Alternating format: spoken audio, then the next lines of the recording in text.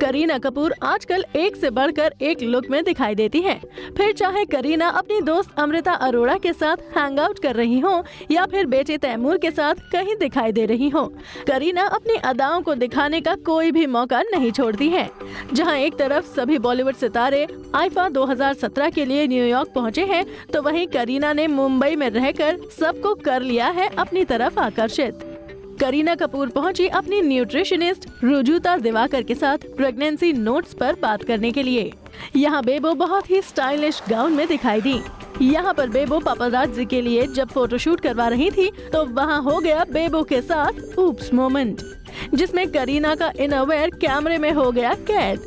भले ही करीना काफ़ी खूबसूरत दिखाई दे रही थी, लेकिन उनके ऊप्स मोमेंट की वजह से करीना की खूबसूरती फीकी पड़ गई। खैर, अभी वीडियो को लाइक करें शेयर करें और अभी चैनल को सब्सक्राइब करें। इसी तरह की चटपटी न्यूज़ देखने के लिए। फिर मिलेंगे मसालेदार खबरों के साथ। Bye bye